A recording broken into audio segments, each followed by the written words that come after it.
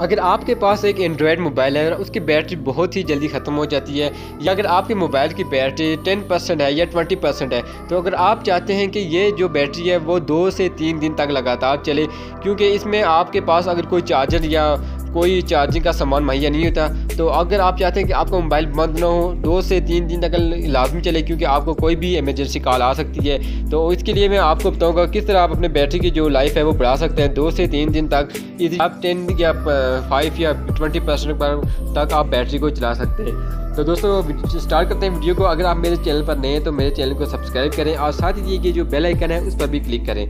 तो दोस्तों चलते हैं वीडियो की तरफ़। सबसे पहले आपने अपने मोबाइल की जो सेटिंग है, उसको ओपन कर लेना है।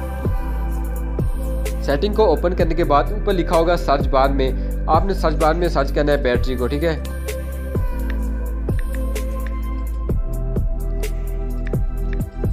बैटरी को सर्च करने के बाद ये नीचे थर्ड नंबर दिया हुआ है डिवाइस मेंटेनेंस इसके बाद नीचे लिखा हुआ है बैटरी आपने बैटरी पर ओपन कर लेना क्लिक करना है इसको। उसके बाद आपने ये देख सकते हैं, नीचे लिखा हुआ है सेव पावर ठीक है? आपने सेव पावर पर भी क्लिक कर लेना है। इससे भी आपकी जो बैटरी लाइफ है, बहुत ही ज़्यादा बढ़ जाएगी, ठीक है? उसके बाद आपने वापस बैक पे जाना है।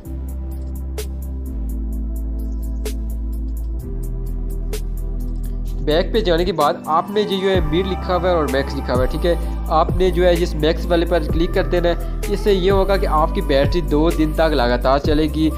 क्योंकि आपका जो मोबाइल है, वो पावर सेविंग मोड पे चला जाएगा, ठीक है? पावर सेविंग मोड पे जाने के बाद आपकी मोबाइल की बैटरी दो दिन तक लगातार चलेगी। बेशक आपको कोई दो घंटे कॉल करे या पूरा दिन कॉल करे, आपकी बैटरी जो है दो घंटे लास्ट में चलेगी, ठीक है? तो ये थी आज की वीडियो अगर आपको ये वीडियो अच्छी लगी हो तो आप इसको लाइक करें कमेंट करें शेयर करें। तो मिलते हैं अगली वीडियो में।